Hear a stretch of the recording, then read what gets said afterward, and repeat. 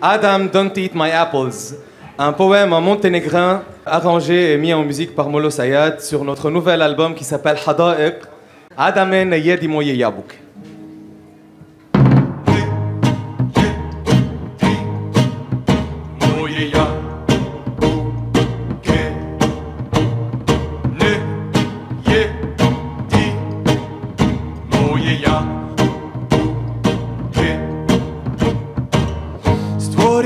vam zemlju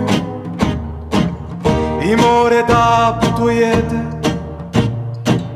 Stvorit ću vam nebo Zvijezde da mudrujete. Stvorit ću vam žene i ljude Da ludujete, a da me ne jedi moje jabu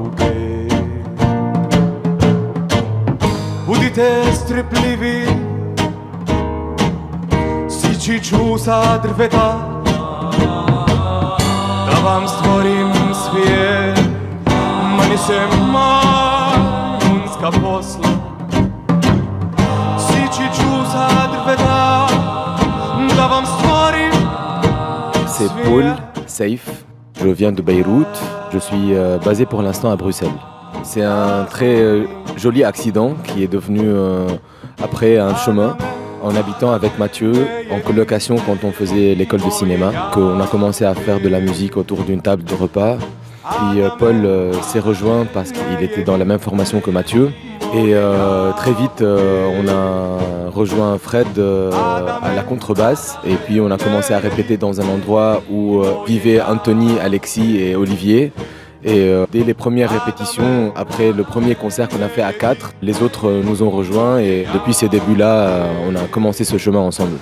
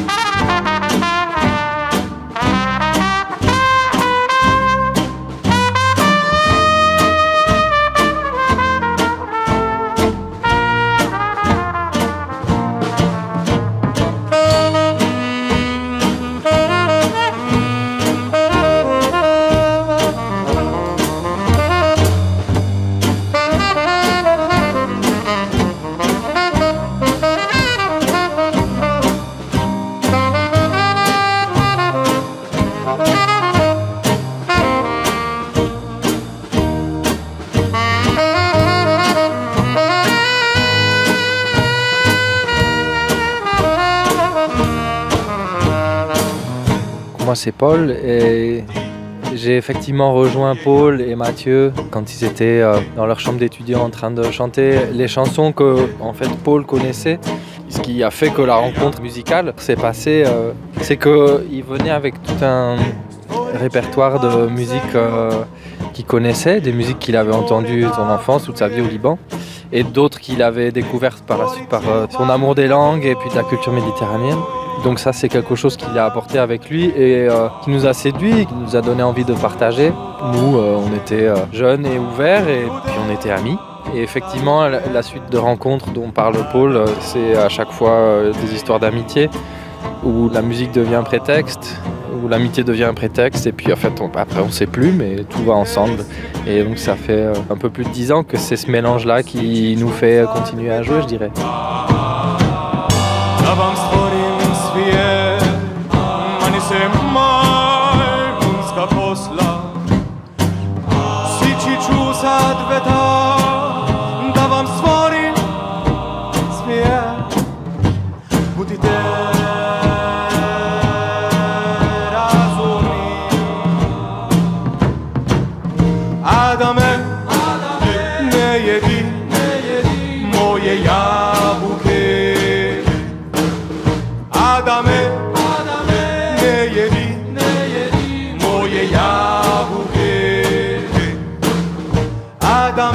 S'est formé euh, il y a euh, une douzaine d'années maintenant. C'est un organisme à la croissance très lente. Nous avons un CD qu'on a autoproduit, tout fabriqué aussi, et ça s'appelle euh, Burj Babel, la tour de Babel. Et euh, celui-là qui sort avec Zephyrus, Hada'ek, c'est le premier qui sort avec une euh, maison. euh. Anthony, il pourra parler plus euh, du troisième album parce qu'il euh, il le met en route avec beaucoup de cœur.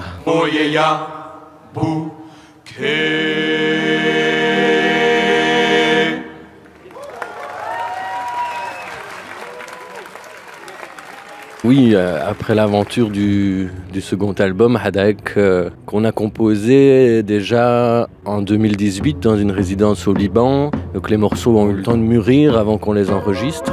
Et, euh, et on était encore en soif de composition. Il fallait pas s'arrêter là.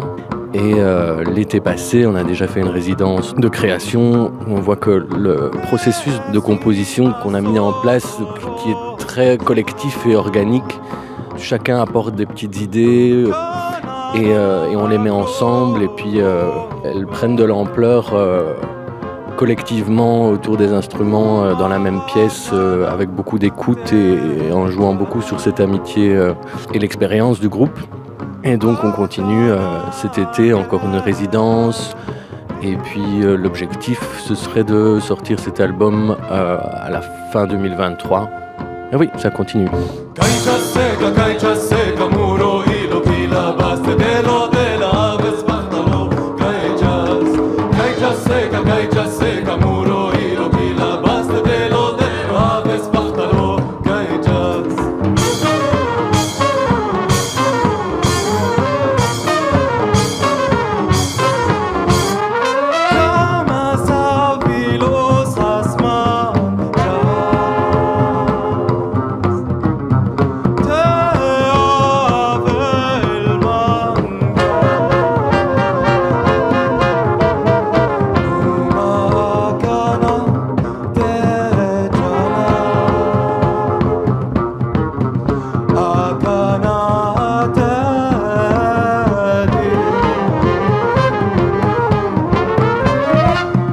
Les paroles, pour la plupart du temps, euh, c'est euh, moi qui les écris.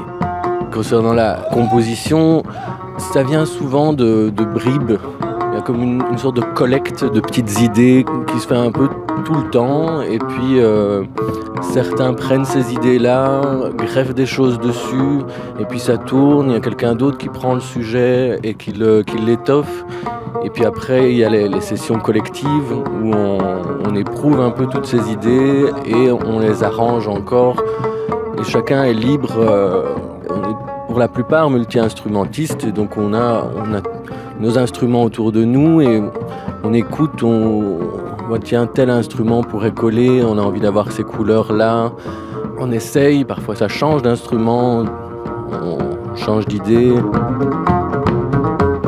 Ça peut aussi euh, commencer par un air qu'on chante en marchant et aussi euh, les supports d'enregistrement faciles comme euh, un téléphone ou un H5 ou quoi qui sont avec nous peuvent faire euh, enregistrer un air ou une mélodie qu'après quelqu'un envoie et puis euh, vu qu'on n'habite pas dans la même ville tout le temps, bah, ça travaille euh, et on, l'écoute euh, et puis ça mûrit jusqu'au moment où on se retrouve pour la déployer ensemble.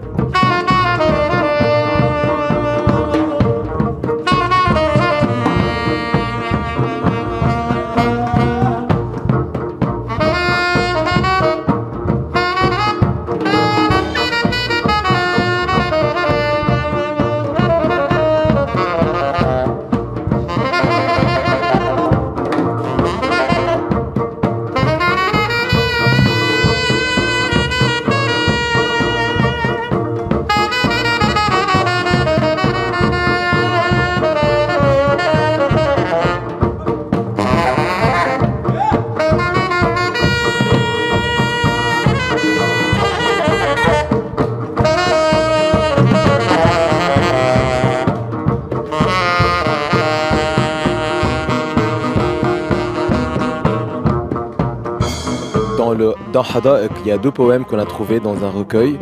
Un morceau que Olivier a écrit en français que moi j'ai retraduit en arabe, Hissan, Dans la création de Hada, on s'est beaucoup posé la question si la mélodie amène euh, les paroles ou si c'est les paroles amènent la mélodie. Euh, Shurfatun qui est sur Hada, euh, c'est un poème qui était déjà écrit. J'avais pas pensé qu'il aurait de la mélodie dessus. Une fois que la mélodie a été proposée, il a tout de suite trouvé sa maison. Et aussi euh, l'air, l'air qui est composé, la mélodie, euh, les rythmes, initie une idée euh, de la couleur de la langue. Et c'est comme ça qu'on choisit la langue. Parce que dans Molosayat, on aime beaucoup utiliser les langues. et peut-être un jour, il y aura une langue Molosayat. Et des fois, la langue choisie, c'est elle qui mène le choix du rythme. Par exemple, pour le troisième album, il y a des morceaux que j'ai écrits. Et il y en a deux pour l'instant qu'on est en train de voir avec des amis à nous qui écrivent euh, des textes, des poèmes, une en grec et une en arménien. C'est en phase de discussion pour euh, choisir le thème et euh, l'écriture et le rythme des paroles parce qu'il y a aussi un rythme des paroles qui impose le rythme de la musique. ça change l'écriture en fait.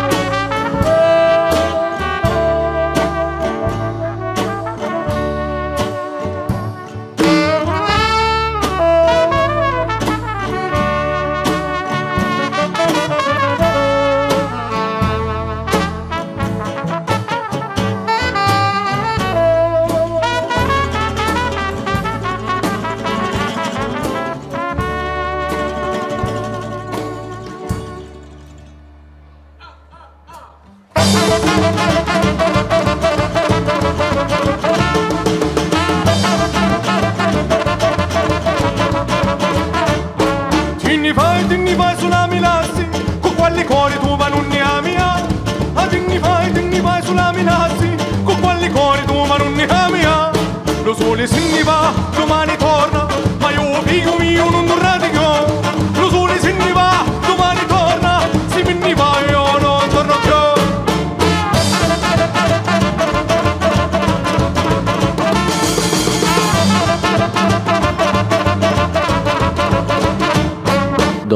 De création, quand on a nos instruments autour de nous et puis on choisit l'instrument, on se dit bah, tiens je veux cette couleur-là. C'est déjà arrivé de voir Paul qui entend la musique qui est en train de se construire et qui dit euh, ah ben là il faut des paroles en arménien sur celle-là. Autant de langues comme au- aussi autant d'instruments vocaux euh, qui rentrent en compte dans la composition. Il y a eu euh, deux en italien, dont un qui est en dialecte sicilien, et puis turc, rome, monténégrin. Il y avait euh, arabe euh, classique et arabe libanais. Ça change beaucoup en fait la sonorité. Quelque chose qui oriente beaucoup nos choix, c'est euh, ce qu'on veut transmettre au public, quelle énergie est-ce qu'on veut développer pendant un concert. Et donc on pense pas seulement en termes de morceaux, mais on parle en termes de répertoire. Et donc on va se dire, bon bah là en fait on a cette série de morceaux, quelle est l'énergie dominante et, et qu'est-ce qu'il nous faudrait pour qu'on soit content scène d'être euh, dans un type d'écoute euh, plus contemplatif ou bien euh, plus festif.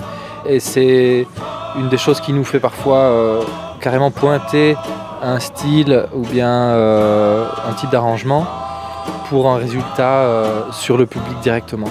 Par exemple, le morceau qui s'appelle Aksham. C'était euh, inspiré d'une musique grecque et le texte choisi est en turc. Et donc euh, le mélange de ces deux informations bah, crée aussi quelque chose de qui ressemble un peu à Molosayat, quoi, ce qui est euh, une sorte de, de patchwork.